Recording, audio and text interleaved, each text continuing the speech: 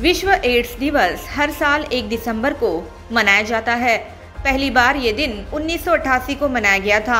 विश्व एड्स दिवस मनाने की वजह एचआईवी या एड्स के प्रति लोगों को जागरूक करना और इससे ग्रासित लोगों की मदद करना है। किसी भी उम्र के व्यक्ति को कर सकता है प्रभावित। शुरुआती दौर में विश्व एड्स दिवस को सिर्फ़ बच्चों और युवाओं से ही जोड़कर देखा जाता था, जबकि एचआईवी संक्रमण किसी भी उम्र के व्यक्ति को प्रभावित कर सकता है।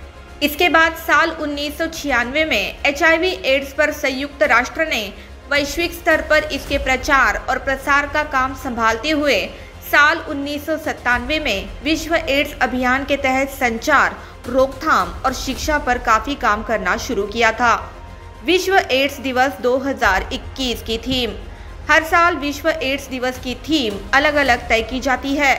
साल 2021 की थीम असमानताओं को समाप्त कर एड्स खत्म करें। ये है ब्यूरो रिपोर्ट द मेट्रो।